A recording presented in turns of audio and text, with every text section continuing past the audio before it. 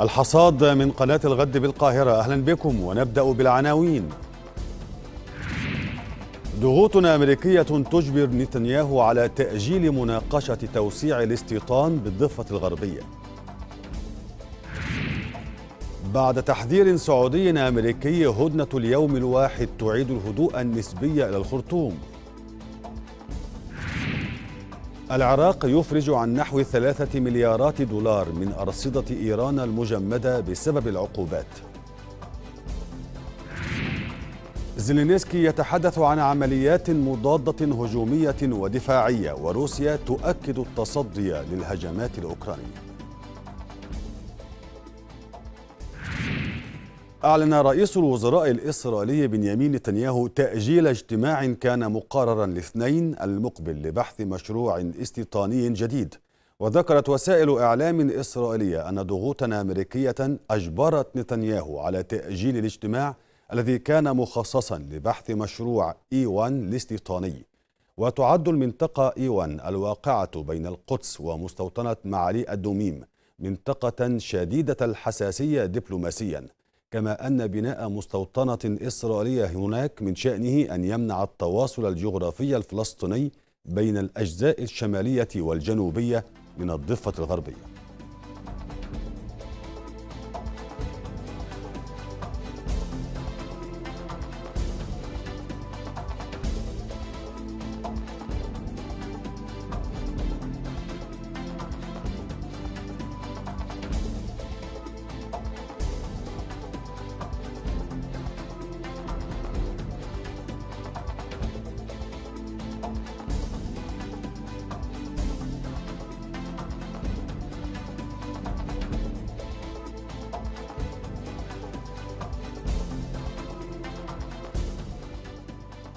ضيف الحصاد في هذا الملف هو صلاح الخواجة الخبير في شؤون الاستيطان وينضم إلينا من رام الله. أهلا بك معنا سيد صلاح. بداية لماذا برأيك اضطر نتنياهو إلى الإعلان عن تأجيل الاجتماع الذي كان مقررا أن يعقد يوم الاثنين المقبل لبحث المشروع الاستيطاني إيوان؟ بداية تحياتي لك وللإخوة والأخوات المشاهدين. نحن نعتبر أن هذه الأزمة منذ عام 98 ما بين الولايات المتحدة الأمريكية وإسرائيل وفي إطار حسم الصراع في مناطق الضفة الفلسطينية. آه، سلسلة الإجراءات التي أخذت خلال السنوات الماضية هي تهيئة الواقع الجغرافي والتحولات الجغرافية آه، في منطقة القدس ومحيط منطقة القدس وقد يكون الإعلان عن مشروع أيوان ليس الإعلان عن مستوطنة جديدة وليس الإعلان عن وحدات استيطانية جديدة أو بؤر استيطانية جديدة. هو الفصل الأخير في ما يمهد للإعلان عن القدس الكبرى.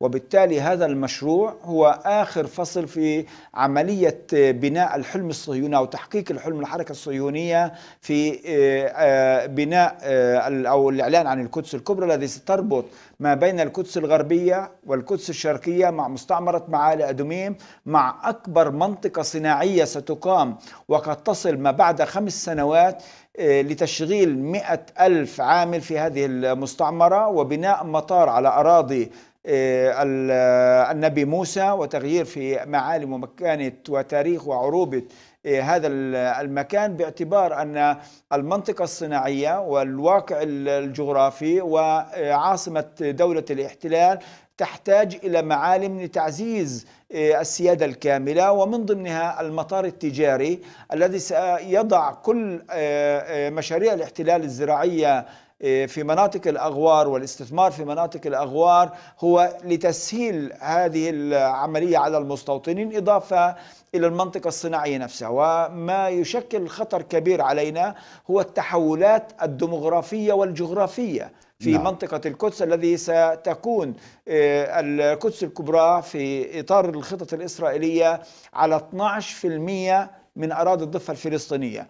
وبهذا الإصبع الاستيطاني الممتد آه، من الأراضي المحتلة عام 48 حتى منطقة البحر الميت سيعزل جنوب الضفة الغربية بالكامل عن وسطها. ولا يوجد هناك أي آه، أشكال للتواصل سوى وجود أنفاق أو من خلال حواجز أو طرق ما آه، يمكن ربطها ما بين الكرة والبلدات الفلسطينية. ولكن في إطار العزل الكلي لهذه المنطقة. إضافة إلى أهمية يجب أن نتأكد أن الدولة الفلسطينية في أي دولة في العالم هي آه، قائمة من معالم هذه الدولة العاصمة السلطة الإعلامية آه، السيادة على المعابر. في ظل الحديث عن بناء مشروع A1 وبناء مخطط إسرائيل في القدس الكبرى هو عمليا شطب لحلم الشعب الفلسطيني باعتبار أن القدس عاصمة للفلسطينيين وبالتالي تغيير في الواقع والرواية بفرض أمر واقع على الأرض وبالتالي نحن من أهم ركائز الدولة هو العاصمة والعاصمة ستصبح ليس القدس الغربية لدولة الاحتلال والقدس الشرقيه كما يحاول المجتمع الدولي أن يتحدث عن القدس باعتبارها دولة للفلسطينيين اليوم هذه عاصمة للفلسطينيين عفوا اليوم بمشروع الاحتلال سيحول القدس الغربية والشرقية حتى البحر الميت بمشروع القدس الكبرى إضافة إلى نعم. ذلك وفي إطار الرواية الصهيونية آه، نحن سنكون في اللحظة الذي كان الشعب الفلسطيني منذ عام السبعة وستين في القدس 72 ألف فلسطيني ولا يوجد هناك أي مستوطن أو مستوطنة. إسرائيل تخطط حتى عام 2025 أن يكون المستوطنين وهذا ما تحاول أن تجند كل الإمكانيات والمقدرات لما يسمى بالمدن الشابة نعم. بمعنى وضع آه، المدن تحت تصرف آه، احتياجات الشباب في السكن ومن ثم تسهيل عملية السكن للشباب من خلال برامج كافة الوزراء في حكومة الاحتلال ليصل عدد المستعمرين والمستوطنين في القدس الكبرى إلى مليون مستوطن وهذا خطر كبير علينا كفلسطين في إطار التحولات الديمغرافيه الذي قد تنشأ في ظل سياسة الاحتلال آه، في المنطقة. وللتوضيح أكثر فضل. أن المخطط الهيكلي لمستعمرة معالي أدوميم 61 كيلو متر مربع.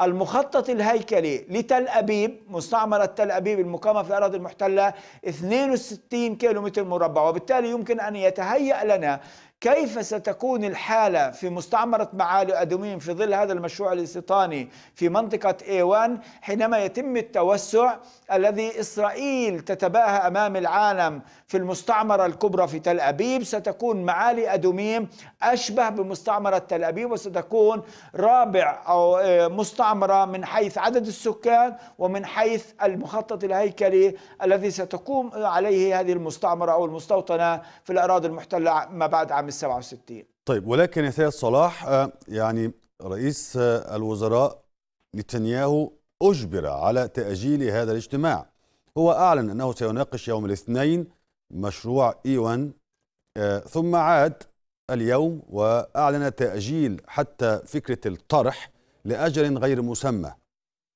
هل لديك تفسير لماذا برأيك تم ذلك؟ بالتأكيد جزء من محاولة آه، إرضاء المجتمع الدولي وخاصة الولايات المتحدة الأمريكية بتأجيل عملية حسم الصراع في مناطق الضفة الفلسطينية وخاصة آه، أمام موجة الانتقادات لنتنياهو على الوضع الداخلي في دولة الاحتلال وتأجيج الوضع الداخلي. والخطر الأكثر التحدي الأكبر لنتنياهو هو التجمعات البدوية الموجودة وفي مقدمة الخان الأحمر.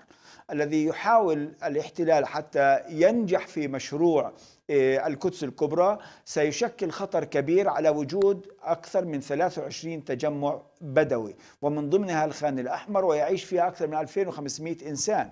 وبالتالي حتى الآن كل محاولات وضغط الاحتلال على عمليات التهجير لم تنجح وفشلت. وفي مقدمتها في الخان الأحمر الذي أصبحت جزء من قضية عالمية وجزء من قضايا في محكمة الجنايات الدولية وبالتالي أي إثارة لعملية التهجير القسري ستفرض واقع جديد وضغط إضافي على حكومة نتنياهو. يراهن نتنياهو الآن هو على خطط بديلة. أولا البنية التحتية بالكامل هي مهيئة لأي توسع استيطاني. نعم. الطرق هي تعتبر طرق رابطة وليس بين مستعمرات بل بين دول طرق واسعة ومسمى إيه، إيه، شارع رقم واحد الذي يربط ما بين المستعمرات المقامة في الأراضي المحتلة عام 48 مع القدس الغربية والشرقية ومعالي أدوميم حتى منطقة البحر الميت وهي من أكبر الطرق في مناطق الضفة الفلسطينية. القضية الأخرى على مستوى الكهرباء والمياه هناك تأسيس لبنية تحتية كاملة لمئات ألاف المستوطنين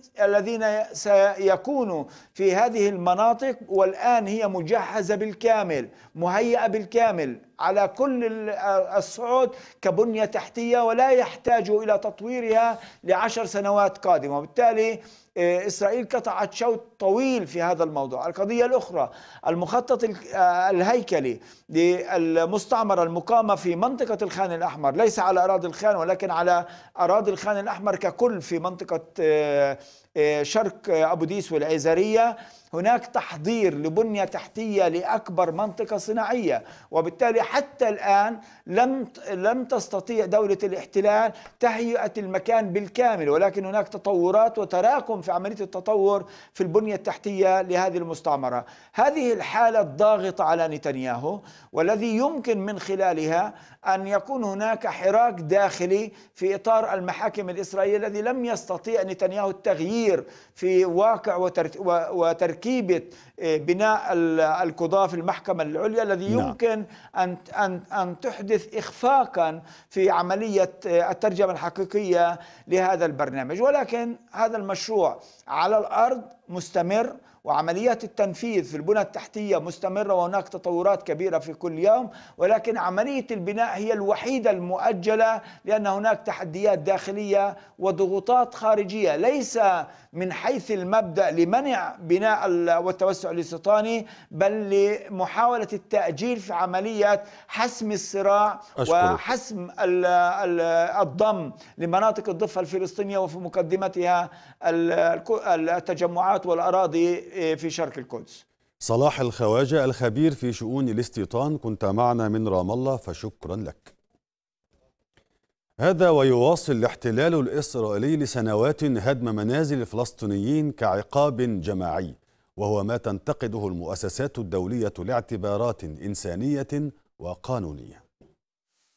الاحتلال يهدم منازل الفلسطينيين.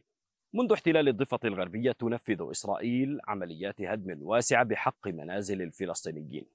توقفت عمليات الهدم نسبيا في الفترة ما بين الأعوام 2005-2008 لأسباب قانونية واستؤنفت عام 2014 عقب موجة عمليات في مدينة القدس.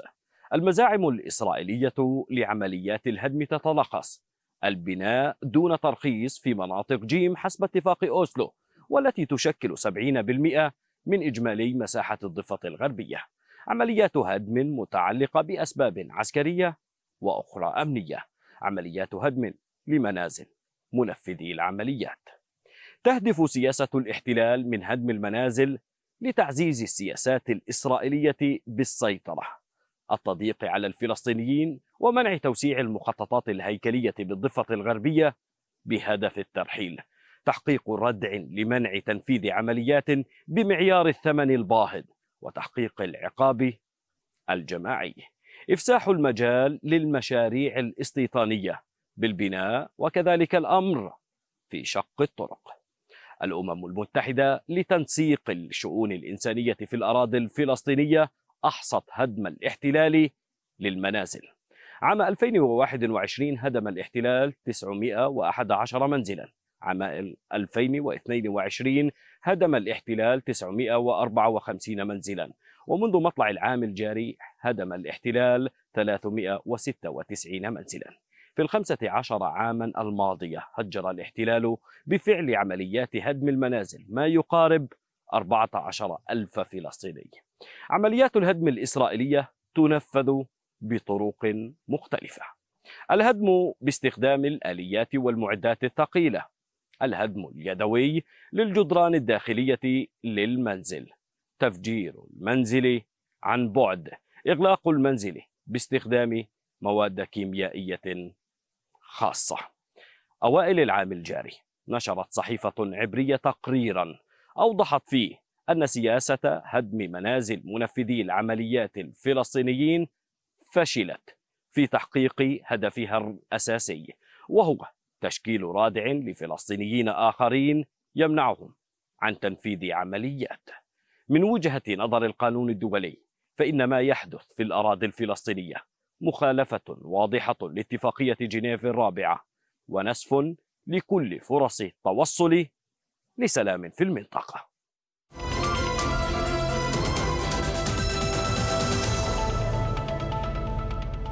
قال رئيس مجلس السيادة السوداني عبد الفتاح البرهان إن الحكومة السودانية مع أي حل ينهي الحرب ويعيد الطمأنينة للشعب السوداني. وخلال اتصال هاتفي مع الرئيس الحالي للاتحاد الإفريقي رئيس جزر القمر عثمان غزالي أكد البرهان أن فشل جميع الهدن السابقة سببه عدم وجود آليات فعالة لمتابعة الخروقات. من جهته أكد غزالي ضرورة أن يكون الحل إفريقيا لإحلال السلام في السودان. ويأتي هذا بينما ساد هدوء نسبي شوارع العاصمة الخرطوم في ظل هدنة الساعات الأربع والعشرين بين طرفي القتال. بعد أن بلغ اليأس من التوصل إلى اتفاق لوقف إطلاق النار حدوده القصوى منحت الهدنة الجديدة سكان الخرطوم متنفسا لما قالوا عنه إنه هدوء لم يعرفوه من اتفاقات الهدنة السابقة. ولكن هدنة تدوم لأربع وعشرين ساعة لا تعدو كونها نافذة ضيقة بين جدران العزلة الأربعة إذ ليس من المنتظر لأعمال القتال أن تتوقف بل أن المخاوف من اتساع نطاق الحرب تزداد.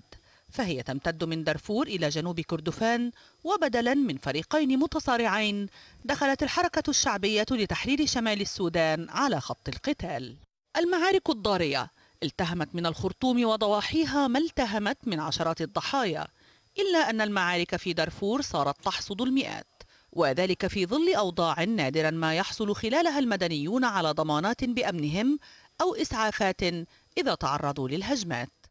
الجهود التي تبذلها السعودية والولايات المتحدة بين طرفي القتال الرئيسيين لم تتوقف إلا أنها مع فشل المحاولة بعد الأخرى ربما تجد أنها أمام طريق واحد هو أن يبلغ الطرفان حدا من الإعياء يقنعهما بما كان يجب أن يقتنعا به من قبل وهو أن أحدا لن يفوز في حرب أهلية وأن السبيل الوحيد الصحيح للخروج من الأزمة هو أن ينسحب العسكريون إلى ثكناتهم ويتركوا السلطة إلى المدنيين. الحكومة التي يقودها قائد الجيش عبد الفتاح البرهان فتحت جبهة أخرى لنزاع دبلوماسي مع الأمم المتحدة بدعوتها للمنظمة الدولية بأن تسحب مبعوثها إلى السودان فولكر بيرتس إلا أنها كانت جبهة خاسرة عندما رفضت الأمم المتحدة الطلب وتمسكت ببقاء مبعوثها ليؤدي دوره. اتساع دوائر القتال قد يمكنه أن يغير خارطة التوازنات إلا أنها توازنات للمزيد من القتال وليس لتوسيع نافذة التنفس الضيقة وسط جدران العزلة الأربعة. ضيف الحصاد في ملف السودان هو أبي عز الدين المدير الأسبق لإعلام رئاسة الجمهورية السودانية وينضم إلينا من القاهرة. سيد أبي أهلا بك معنا. حتى الآن لم تمدد هدنة الأربع والعشرين ساعة الأخيرة. هذه الهدنة من المفترض أن تنتهي في السابعة صباحا. هل ستمدد برأيك؟ نعم شكرا لك. بداية ربما لا يكفي الوقت للتعليق عن التقرير. التقرير بكل أسف كان منحاز بصورة سافرة للميليشيات ولم يذكر نهائيا أنها ميليشيات متمردة. كان يحاول معنى الوقت يا سيد معنى الوقت يا سيد أبي معنى الوقت يعني إن أردت أن طيب. تصحح شيئا تراه يعني نعم. كان منحازا. تفضل. نعم. جوهر نعم. جوهر التقرير يتحدث عن طرفي قتال. ما بين جيش عن طرفي قتال. الدولة نعم. نعم. و... نعم. نعم, نعم. ولا ي... ولا ي... ولا يذكر أي إشارة إلى أن هنالك تمرد. وكما تحدث وكأنها حرب أهلية وجاء بهذه الصفة وهي ليست حرب أهلية وتمرد عسكري. طيب بماذا بماذا تصنف الأمم المتحدة؟ هذا القتال في السودان يا سيد أبي؟ هي لم لم تصنفه بعد وهذا من أسباب هي تدعو طرفي القتال. هي تدعو طرفي القتال. هي تدعو نعم. طرفي القتال إلى نعم ترك وهذا السلاح. من أسباب المشكلة. وهذا طيب. وهذا من أسباب المشكلة. وفد وفد نعم الحكومة السودانية. يعني إذا الآن إذا قامت اسمح لي وفد الحكومة السودانية في جدة مع من يتفاوض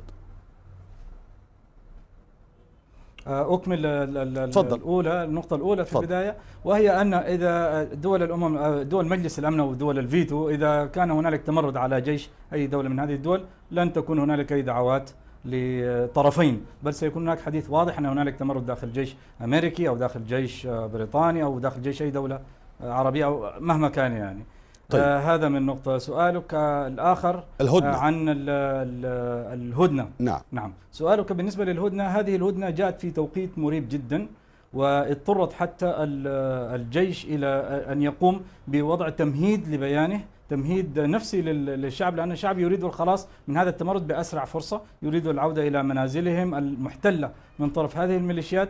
فبالتالي اضطر الجيش هذه المرة آه، إلى أن يقوم بتمهيد نفسي في بيانه كي يتقبل الشعب أن الجيش سوف يوافق على هذه الهدنة. نعم. الهدنة طبعا غريبة جدا في مراميها أو في هيكلها عموما لأن ال- ال- الهدنة 24 ساعة وتبدأ آه، فجرا تبدأ آه، الساعة السادسة صباحا آه، في وقت فيه الناس نيام. يعني بالتالي ليس المقصود إذا تقديم مساعدات إنسانية.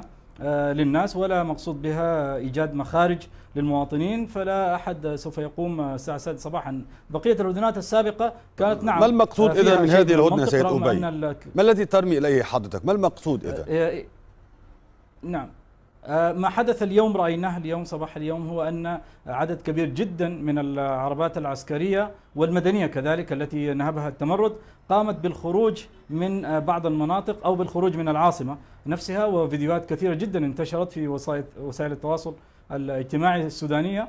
وبالتالي ال- تجد معها تعليقات الناس أن هذه الهدنة أعطت مجالا للهرب بالمنهوبات وللهرب من ال- ال- العاصمة لأن هذه الهدنة وأي نوع من الهدنات والتفاوضات تعطي مجالا للمجرمين للتهرب من المحاسبة.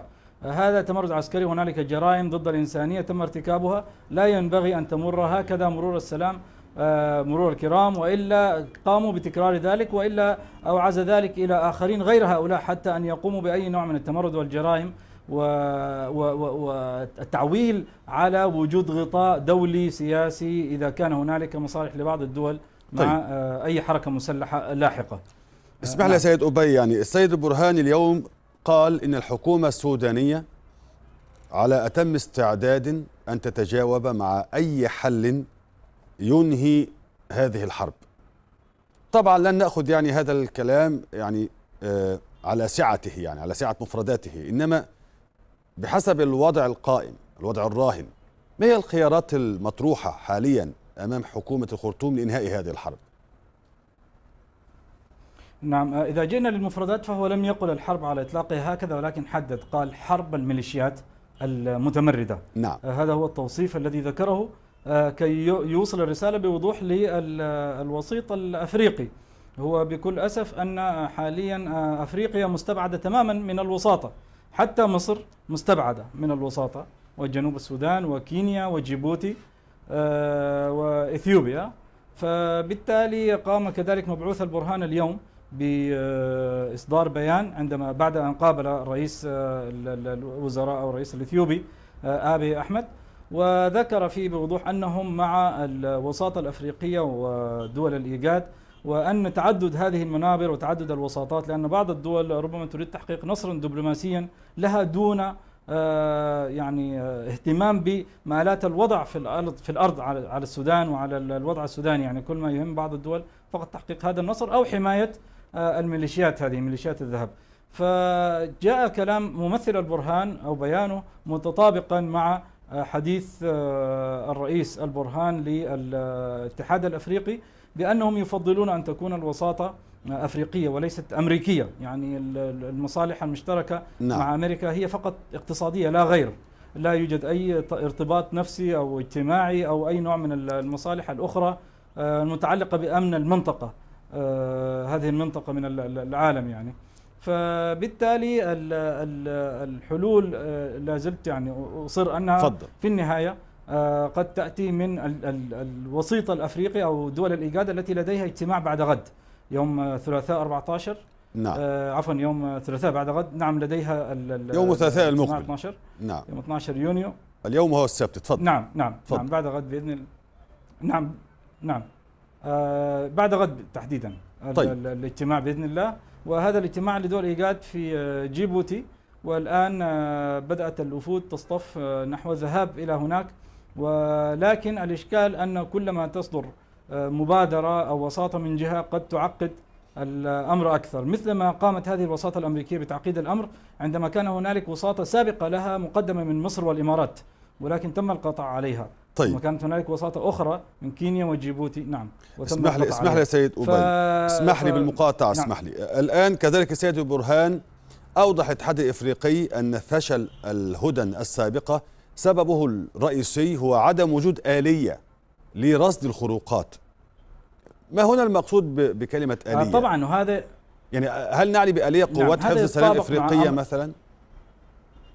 لا لا لا لا لا طيب، لا لا ما هي الآلية؟ أي نوع من مثل هذه التدخلات سوف سوف يقصد آلية رصد و- ومحاسبة يعني كان عندما عندما علقت آه، الحكومة السودانية نعم آه، هذا التفاوض في آه، جدة آه، ذكروا بوضوح أن السبب هو عدم عدالة الوساطة لأنها آه، رغم رصد الحكومة لانتهاكات الدعم السريع لكنها لم تقم بأي إجراءات تجاه هذه الميليشيات.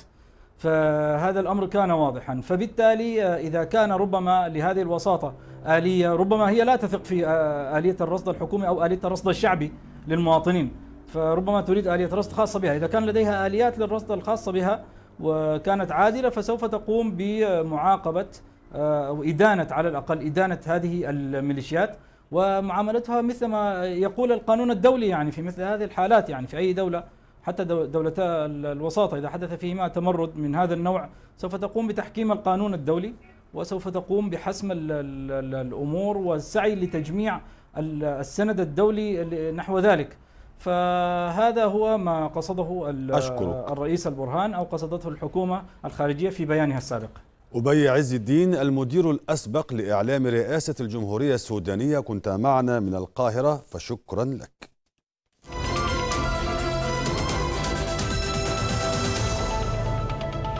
أعلنت إيران الإفراج عن مليارين وسبعمائة مليون دولار من أموالها المجمدة في العراق بسبب العقوبات الأمريكية. وقال رئيس غرفة التجارة الإيرانية العراقية المشتركة يحيى آل إسحاق إن هذا الحدث سيكون له بالتأكيد تأثير إيجابي على الأسواق مشيرا إلى أن احتياجات البنك المركزي عالية وتم شراء السلع الأساسية. ضيف الحصاد من بغداد هو دكتور خالد عبد الإله عميد كلية العلوم السياسية بالجامعة المستنصرية. أهلا بك معنا دكتور خالد. 2 مليار و 700 مليون دولار. أفرج عنهم اليوم فجأة. صحيح؟ أم كان هناك مقدمات؟ بسم الله الرحمن الرحيم. مساء الخير لكم الجميع أهلاً مشاهدي. قناة الغد العربي وشكر لهذه الاستضافة. بالتأكيد كانت هنالك ترتيبات. زيارة السيد فؤاد حسين ومشاركته لمؤتمر آه، تحالف آه، ضد تنظيم داعش الإرهابي في الرياض. هو الذي آه، كان له دور كبير جدا في الحديث عن السماح للعراق بعملية إطلاق هذه المبالغ وهذه الديون المترتبة نتيجة تصدير الكهرباء والغاز الإيراني. آه، في شهر مارس الماضي كان هنالك أيضا السماح بإطلاق خمس 500 آه، ألف آه، دولار. نعم. بمعنى نصف مليار دولار تم إعطائها إلى الجانب 500 ألف الإيراني. دولار؟ وأعتقد بأن نصف مليون دولار تقصد؟ 500 ألف دولار؟ 500 مليون دولار عفوا. 500 مليون نصف 500 مليار. مليون نعم آه، دولار. نعم. نصف مليار. نعم. آه، إلى ال- الجانب الإيراني في عملية الديون. وبالتأكيد هنالك تراكم كبير جدا بالنسبة لهذه الديون.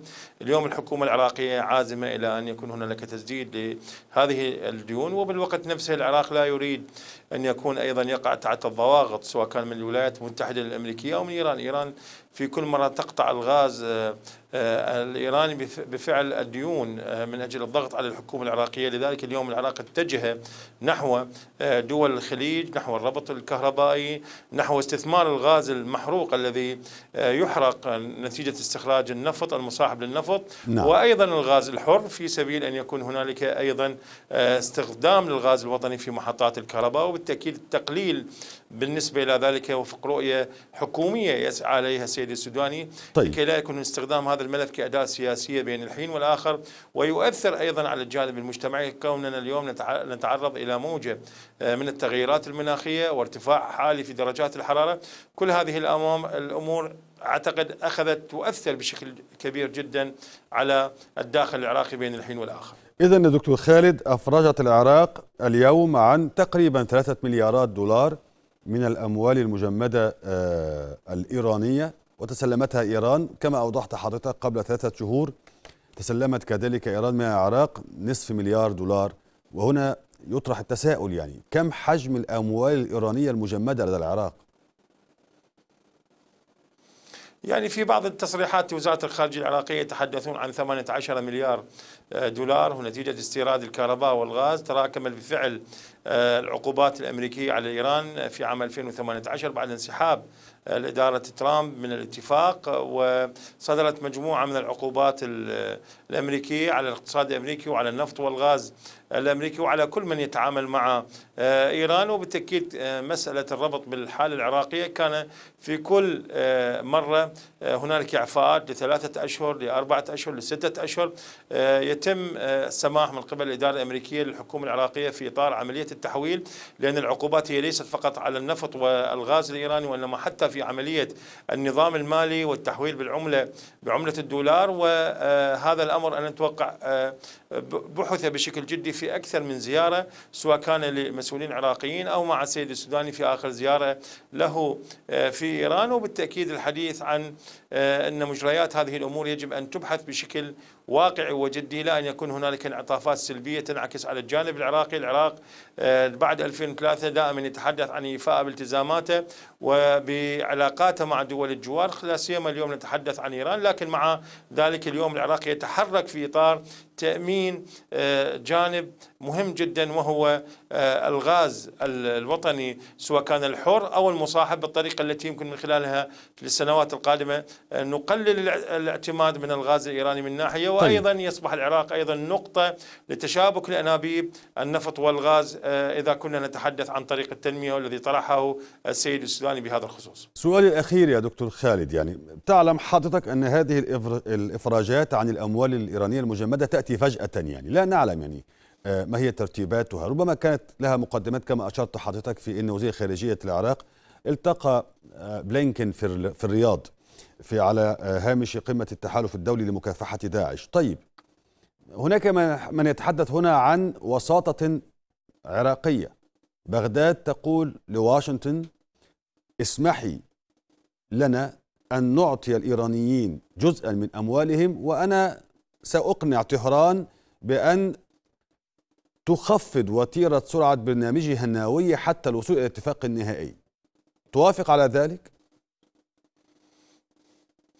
العراق يعني دائما يسعى بشكل حقيقي إلى تقريب وجهات النظر، العراق استضاف آه، أحد اجتماعات مجموعة خمسة زائد واحد قبل أن نتحدث عن اتفاق تموز من عام 2015 العراق دائما يسعى إلى آه، العلاقات الخليجية الإيرانية وكان هنالك خمس لقاءات في بغداد آه، أثمرت بشكل جدي إلى ترتيب في إطار الأجواء من المملكة العربية السعودية. وجار إيران من ناحية وبالتأكيد أنا أتوقع دائما العراق يسعى بشكل جدي إلى مسألة الإعفاءات والسماحات. ذكرتها قبل قليل أكثر من مرة سمحت الولايات المتحدة الأمريكية. ولكن أيضا فيما يتعلق بهذا الأمر قد يكون هنالك آه، رسائل متبادلة آه، سواء كان بين وزير الخارجية العراقي ووزير خارجية إيران في عملية الحديث عن الملف النووي. لكن لحد الآن لم تعلن هذه غير مباشرة. آه، مع ذلك أنا أتوقع قد تكون هذه أحد الإجراء الإجراءات للاطمئنان سواء كان في إطار الحديث عن الجانب العراقي لكي يكون هنالك استمرار لإمدادات الغاز. إيران قبل أسبوع أو عشرة أيام من من اليوم عملت على تخفيض الغاز الذي يطلق من أراضيها باتجاه الأراضي العراقية والمحطات نعم. الغاز ب 20 مليون متر مكعب وكانت هذا الأمر أثر بشكل كبير جدا على مستوى الكهرباء إيران دائما تتحدث بأنه يجب أن يكون هنالك إيفاء لديونها سواء كان من الغاز أو من من الكهرباء التي تستورد لكن بالمحصلة الأساسية العراق نجح في عملية الحديث عن هذه الترتيبات أشكرك. وأعتقد بأن الولايات المتحدة الأمريكية دائما تتحدث عن أن لا يكون العراق ضحية لهذه الصراعات الجانبية البينية التي تؤثر على الجانب العراقي بالدرجة الأولى. دكتور خالد عبد الإله عميد كلية العلوم السياسية بالجامعة المستنصرية. كنت معنا من بغداد فشكرا لك.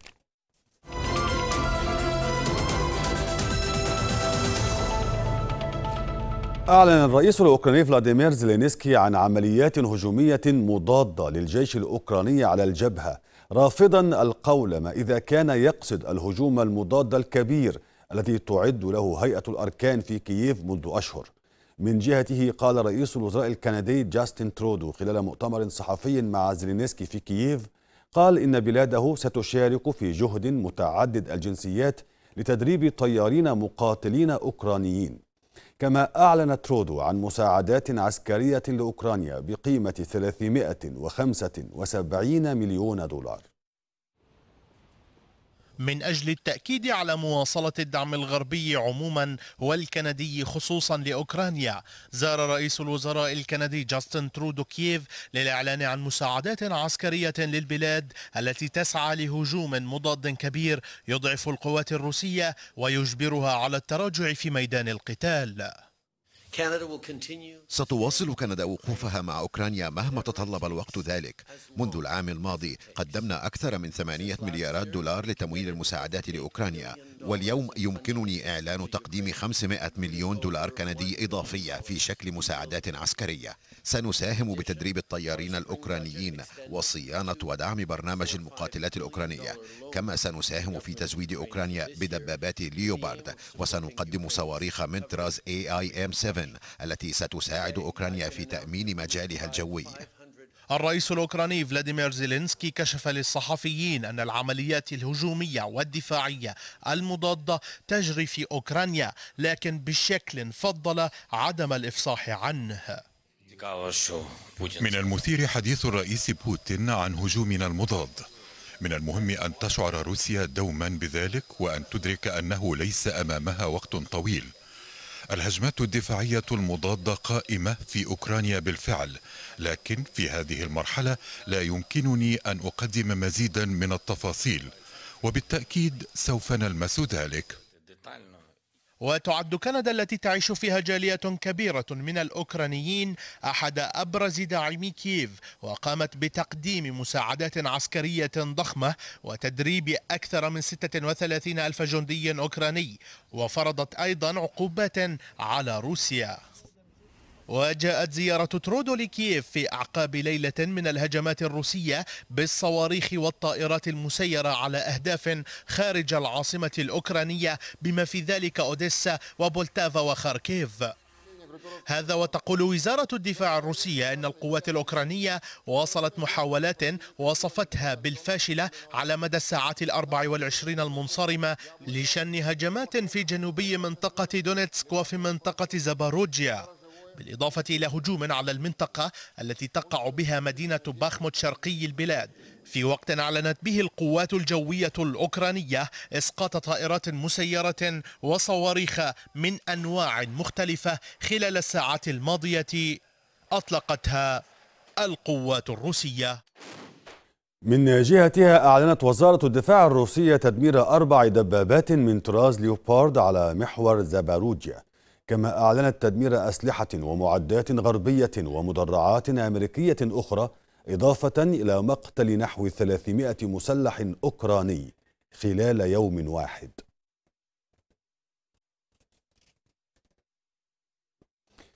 من موسكو الدكتور محمود الأفندي عضو الأكاديمية الروسية للدراسات والبحوث ومن كييف الدكتور سعيد سلام مدير مركز فيجن للدراسات الاستراتيجية. أهلا بكم أبدأ معك دكتور سعيد من كييف. ألم يبدأ الهجوم الأوكراني المضاد بعد؟ مساء الخير لكم ولجميع المشاهدين وللضيف الكريم من موسكو. طبعا يمكن القول أن العمليات الهجومية التي تقوم بها القوات الأوكرانية هي عبارة عن تحضير للهجوم الشامل المضاد.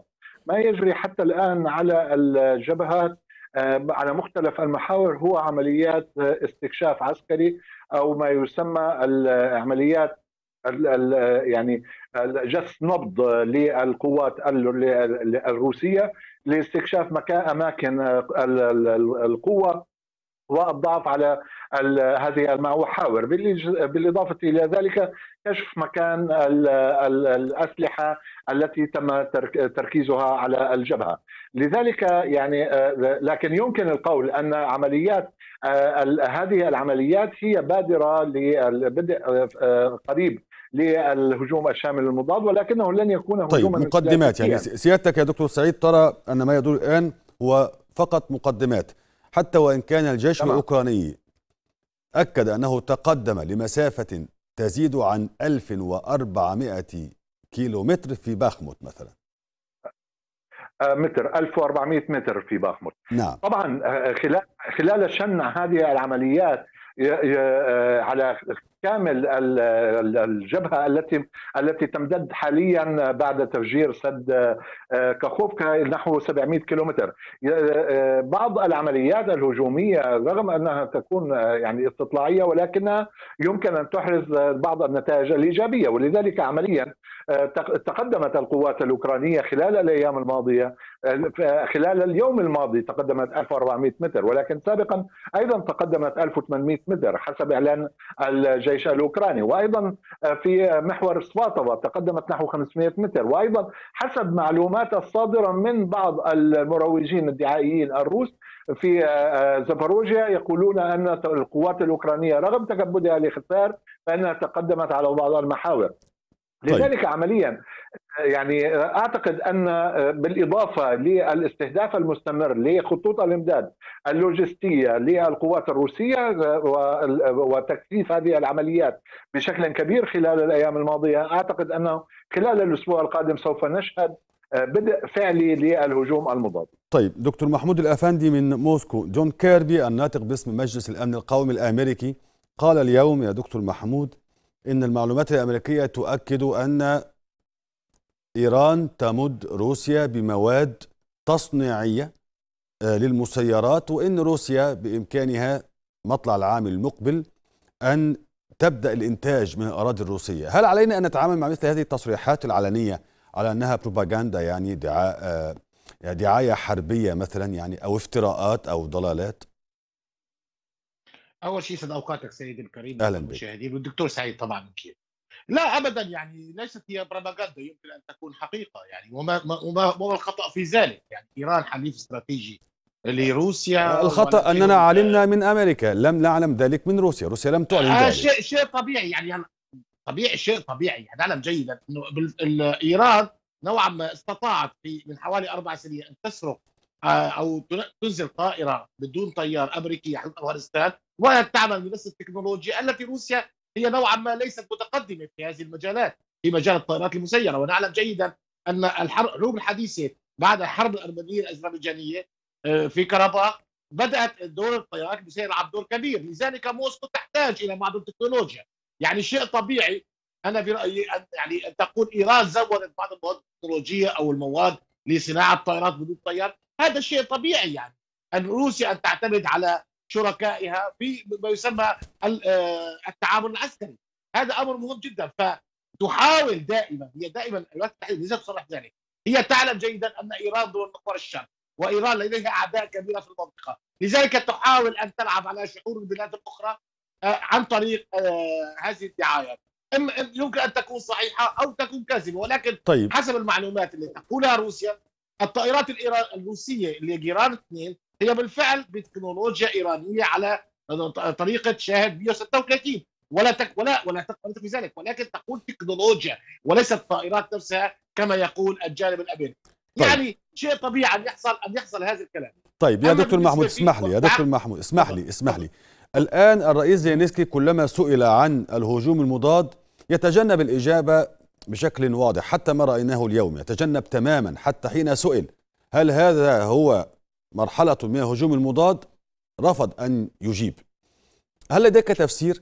هل تعتقد أن بالفعل كييف تحضر لشيء ضخم للغاية؟ لا ابدا ليس لديها شيء ضخم لأنه كما يقول ضيفك الكريم أن الهجوم الشاسع يعني الهجوم الشاسع على كل طرف الجبهة ليست لاوكرانيا هذه القدرات ليست بشرية ولا العسكرية فلما نحن ننظر إلى ما يحصل على الأرض الآن وأن السلاح اللي يدمر هو السلاح الاستراتيجي يعني هذا أمر مهم جدا لما ننظر إلى الدبابات الغربية التي يعني استلمتها أوكرانيا من حوالي أربعة أشهر ترك الآن آه، في آه، في أراضي الدنباس. هذا يعني هذا هذا ما يسمى المخزون الاستراتيجي. استعماله يعني هي آخر الأوراق التي تعملها كييف. أما بالنسبة للطرف كييف أول شيء في في أمرين مهمين يحدثان الآن. هذه العملية المعاكسة تقوم بلا قائد القوات الأوكرانية الذي هو مختفي من حوالي شهر وحتى الآن. هل هو راضي عن هذا القرار؟ أين هو؟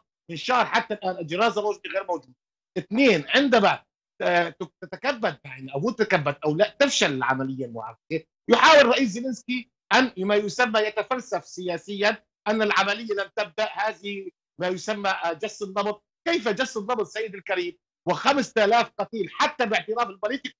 اليوم قرات بوليتيكو 5000 قتيل أوكراني خلال أربعة أيام بالجيش الأوكراني. ما هي جس النبض؟ إذا هم يكذبون هم يكذبون هذه الروايات يا دكتور محمود ويرون أيضا ان أن موسكو كذلك تروج إشاعات كثيرة في الحرب الدعائيه أنا أتكلم ليس عن موسكو أنا أتكلم عن البوليتيكو هذه ليست مصادر روسيه أول شيء آه، رئيس شركة الليوبارد الألمانية الصناعه اليوم اليوم اعترف رسميا باضاعه حوالي 15 دبابة ليوبارد واحد وليوبارد اثنين نحن نتكلم يعني هذا الأرقام اللي تتكلم عنها يتكلم عنها الغربيين. انظر الآن الإعلام الغربي. يتكلم فعليا أن هناك خسائر كبيرة. إذا هي جس النبض فما هي بعد الخسائر الكبيرة؟ من أين تأتي السلاح؟ السلاح لا يعني حتى حتى يا دكتور محمود اسمح لي حتى الإعلان عن هذه الخسائر بهذا الحجم الا ألا تخشى حضرتك أن يكون ذلك من باب خدعة الحرب؟ فقط يعني, يعني لاعطاء يعني, يعني لتمرير يعني خدعة ما معلومات مغلوطة؟ وارد كذا سيدي سيد سيد الكريم هذه الصور. هناك فيديوهات وهناك كل شيء واضح يعني الغرب لا يكذب بهذه المواضيع يعني هو بالعكس يعترف بالخسارة لأنه هو من يزود طيب أشكرك. موجود كل شيء. طيب. أول شيء بس في نقطة مهمة تفضل نقطة مهمة بحاول أوصلها لل تفضل والمشاهدين تفضل دائما دائما في المعارك العسكرية السلاح الثقيل عندما يخسر هي خسارة كبيرة إلى الجيش. يعني دائما التقدم في المدرعات الثقيلة. لما تخسر بهذه الكمية الهائلة هذا يعني أن الهجوم ضاد واوكرانيا لا تستطيع أن تعترف بذلك أنا أفهم أوكرانيا لأنها دولة معتمدة بشكل كامل على الغرب فلديها الورقة والقلم يعني إذا قررت بأي نوع من أنواع الخسارة يمكن أن يحصل نوع من أنواع آه، الرفض في أوروبا أو التنديد بعدم تزويد أوكرانيا لذلك طيب. ترى الآن فهم. حتى فرانسوا هولاند اليوم فرانسوا هولاند اليوم صرح تصريح خطير جدا قال إذا فشلت أوكرانيا في الهجوم المعاكس واتى الجمهوريين إلى السلطة يعني انتهاء ما يسمى الحرب الأوكرانية طيب. استسلام أوكرانيا. يعني بدأت ابقى معنا يا دكتور محمود لو تكرمت. ابقى معنا يا دكتور سعيد هل توافق على هذا الطرح؟ إذا ما أخفق الأوكرانيون في هجومهم المضاد ربما تمنع عنهم الإمدادات الغربية. طبعا لا أتفق بشكل كامل مع هذا الطرح. يعني بداية كما قلت أن ما يجري حتى الآن هو عمليات جنس نبض وعمليات يعني استطلاع عسكري بالمعارك. آه، لذلك آه، طبعا يعني هذه المعارك هذه العمليات الهجومية تتم عبر يعني بواسطة بعض الكتائب العسكرية أو يعني المقواه أو يعني المضاف إليها بعض نعم المعززه نعم. المعززه نعم. يعني تعداد لا يتجاوز 300 إلى 500 جندي. يعني هذا هذا بداية. ثانيا لذلك هذا ليس هجوما. عندما نشهد تقدم ألوية وفرق عسكرية يمكن القول وقت حين أن الهجوم المضاد قد بدأ. هذه النقطة الأولى. النقطة الثانية فيما يخص الخسائر. أعيدكم نعم. إلى يعني إلى بريغوشن الذي يعني علق على تصريحات يعني الناطق العسكري للروسي وأيضا وزير الدفاع آه، حيث قال أن حسب هذه البيانات نكون قد احتللنا الكرة الأرضية خمس مرات. يعني في يعني هذه طيب. النقطة الأولى. النقطة الثانية يعني آه، طبعا أي هجوم سوف يكون هناك خسائر. وأقول حسب العلوم العسكرية نعم. يعني نحو 30% من المعدات خسارتها هذا يعتبر أمر طبيعي. 30% من المعدات. في حال زادت هذه النسبة حينها يمكن القول عن الفشل في هذه المكان أو في طيب. ذلك المكان. لذلك عمليا ما يتم حاليا هو يعني طبعا سوف يكون هناك خسائر من الجانب الأوكراني. هو يقوم بعمليات هجوم. لذلك بعمليات هجومية استطلاعية طيب. يستكشف مكان الأسلحة ومكان أماكن القوة. وحين الهجوم سوف يستمر الهجوم عندما يبدأ. قد يستمر نحو شهر إلى شهرين. فهمت. ليس طيب. المطلوب هذا الهجوم تحرير كامل الأراضي حتى لو فشل. كان هناك أيضا تصريحات أمريكية وغربية لحلفاء أوكرانيا. أن هذا الهجوم سوف يظهر أيضا من ناحية أخرى في حال فشله. نقاط الضعف لدى الجانب الاوكراني طيب. لدي سؤال أخير يا دكتور سعيد. فهمت.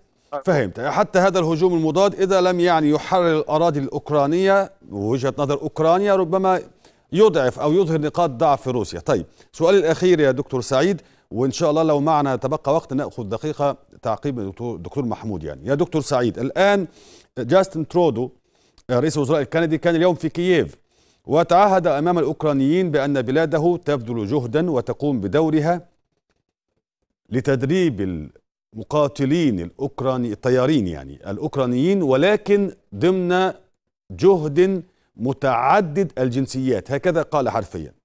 جهد متعدد الجنسيات. وهو سؤالي الأخير. هل تعتقد يا دكتور سعيد أن أي دولة أوروبية حاليا تخشى تماما أن تواجه روسيا منفردة؟